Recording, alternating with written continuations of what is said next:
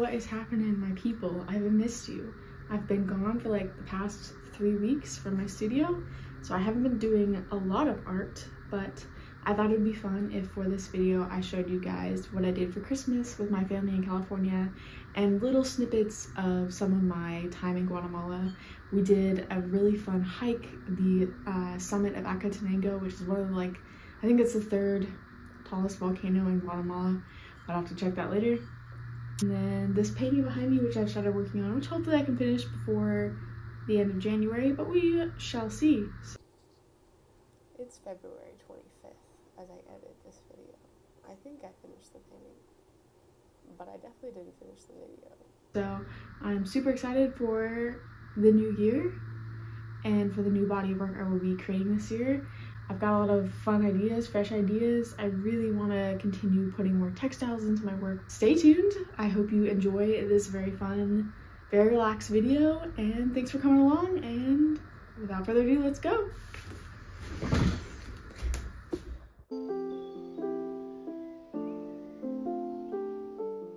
So we started our trip back by celebrating my brother's birthday at a nice sushi restaurant and we sang him happy birthday and had a lot of sushi and just I think my favorite part about this whole trip was the family time I got to have.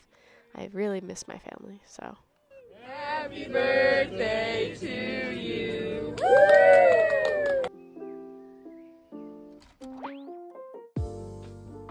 I spent some time with friends, seeing some of my favorite places, reliving great old memories. Really Christmas if you didn't do last minute Christmas shopping at 7 a.m. But we got the peppermint mocha, so.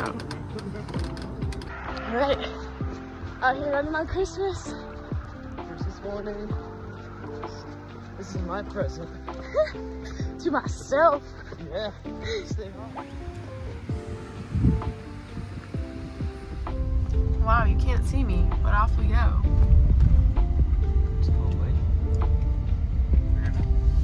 It is 9.30 and we are on the way to a volcano. I'm dead, but I'm ready. Okay. que es este de acá. Subimos acá, subimos por acá, que le llaman la maldita, porque es un poco es arriba, difícil, sí. Subimos este, lo que es la This big bucket list item we crossed off over our vacation was Acatenango, and to climb this mountain, you need a guide. And so our local guide's name was Leo. He was super cool, um, very helpful. He climbs at your pace, which is super nice. And Just reached the base camp. Is it this way or this way? It's at you. That's me. Yeah. We reached base camp in three hours and yeah, three hours flat, which is like two hours earlier than expected. Really? No, yeah, like we the plan wasn't to come to base camp. The plan was to like go another route, then straight to the top. Really? But he was like, dude, we're like Wait, doing really? great timing. If we ascend now, you're gonna be like freezing your ass off. Let's just go to base camp. Mm. Um, and take like a different route to the top. So right now he's gonna bring us some coffee. Coffee and It's cafecito. fucking great. Yeah. We're inside a cute little tent. I'm sweating profusely, so I'm cold as shit. Yeah. Sorry, take it from YouTube, a- I'm cold as uh, as poo poo. Quick thank you to our sponsors, Freddie and Sarah. Mhm. Mhm. We appreciate you. So according to this, total distance five miles. Cute. That's like a, a bean. I'm fucking crazy. That's what I. It's 318 and we got a little bit of coffee. This coffee's single-handedly, Saving my life. literally it's saving my hands. Like, like it.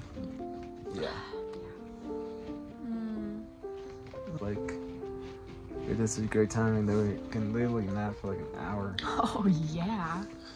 and That's uh, exciting. then start our final ascend and push to the to the top. Mm. Um, which should take us, according to him, like an hour and thirty. Hmm. The sunrise is at six fifteen, six six twenty. So we're gonna leave at four forty-five, four thirty. Shoot. Yeah. That is pretty So long from now. it's really fantastic. So great.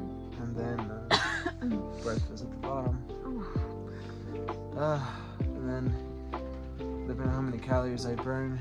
When I reach the bottom, I want dessert. Buy, I'm, not, I might get myself an egg muffin from McDonald's. Oh my god. Oh my god. That sounds so good. Just disappeared. There was all these dogs on the summit that were strays, which was really cute slash sad. There were a few I would definitely love to take home. Magma. Wow, look at the sunrise already. That was like so worth it. Uh-huh. Can you see it through your phone? A little bit when it was super bright. That was insane.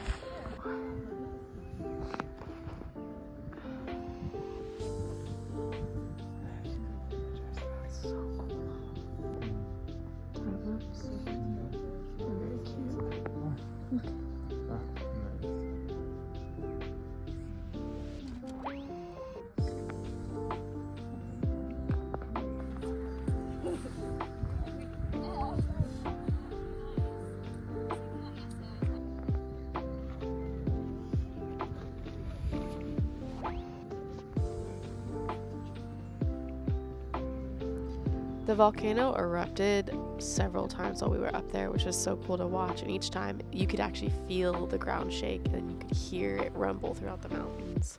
But this sunrise was unreal.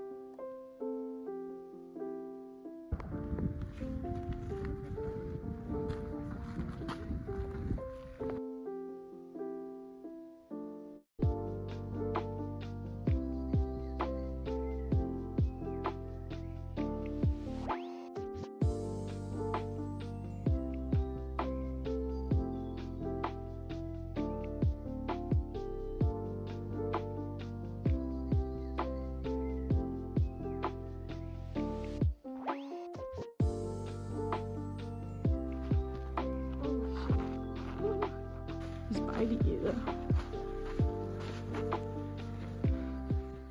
Look at him, the cutest little nugget to ever exist. I will come back for him.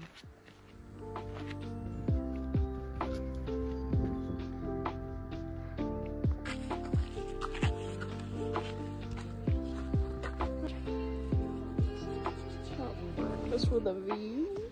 Shit. Alright, go. Go. Spin your shit. After a long hike. I feel, what's the word? When like you start having hallucinations. Full of shit. Sure.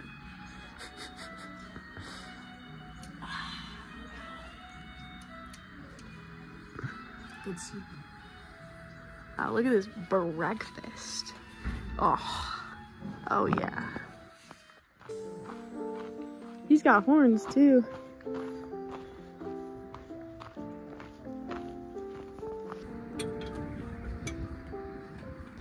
The day after Acatenango, we got to go on a helicopter ride where we actually saw the volcano that we had just climbed, which was pretty cool and give it a sense of scale.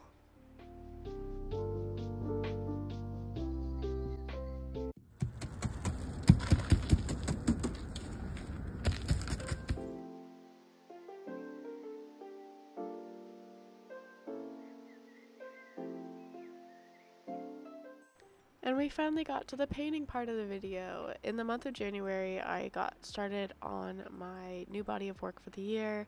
I felt really inspired to kind of change things up and add more animals back in because that's what really gave me life and joy. And I love the abstract elements with animals, so I thought that's what I would do.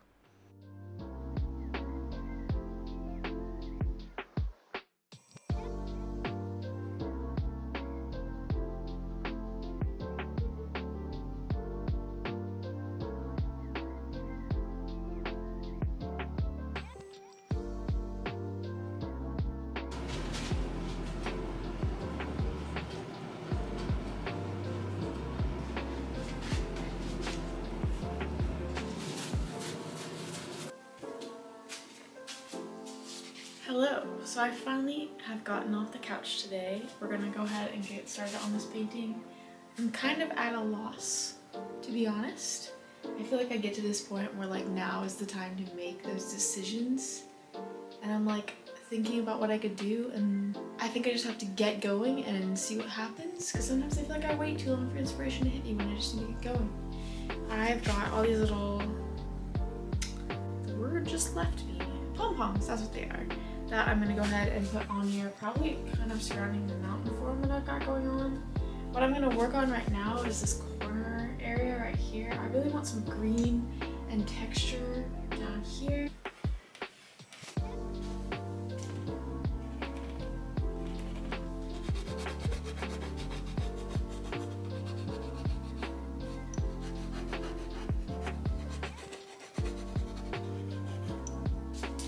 You just gotta go crazy with the mediums, you know? Otherwise, how will you love it if you don't use every art supply you have in your cabinet?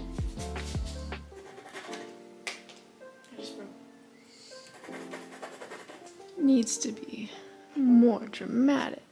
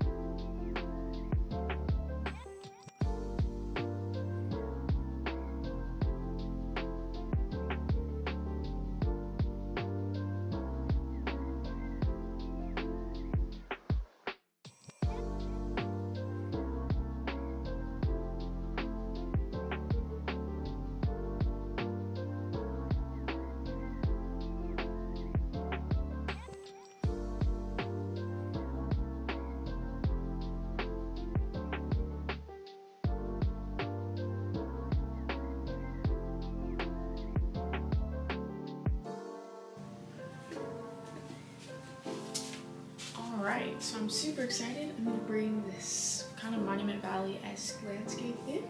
And I'm gonna make it super messy and fun, and I'm very happy to do landscapes again in the painting. So, let's get going.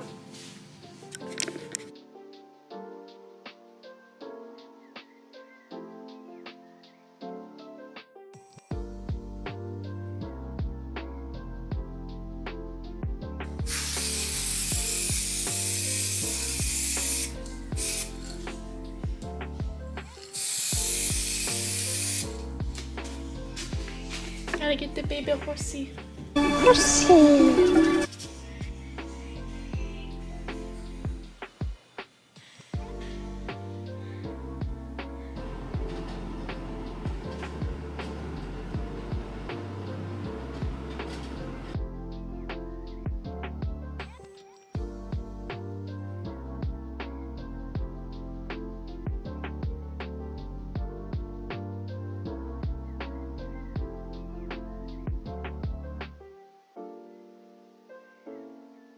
Today I'm going to be using tape to create this little squiggly shape across the canvas so I can block out everything I want to keep. And then I'm going to go ahead and do the background squiggle.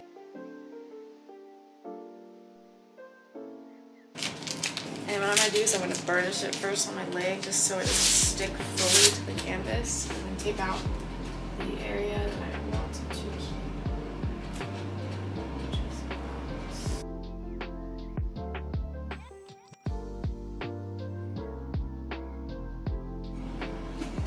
So we have everything taped out and now it is time to cut and hopefully we do not cut through the canvas like I have done on many occasions.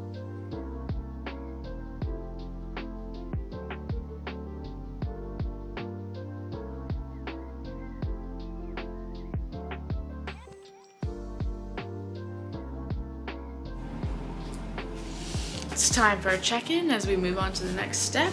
Uh, Apex Predator the Mean Girls musical is on play and we are going to use glazing medium to seal in the tape so that when I paint over it, it doesn't bleed through and it stays cool and crisp and awesome. So let's do it.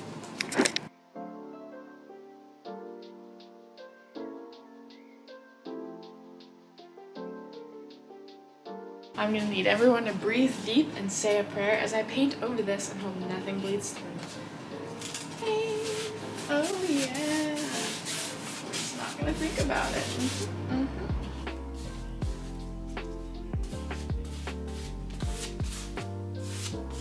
I just want you to see with me. I've never seen a more terrifying sight than this. I really hope the tape held up, so this is fun. This is exciting. Practicing managing stress. I had a lot of fun thinking through what shapes I wanted to be in the background, and this squiggle shape I feel like kind of balanced out the other squiggle that is going to be the horses that's going to show through in the end. I made this really nice kind of like burnt orangey color that I'm super excited that I'm going to put in the top part here. So let's go ahead and do that.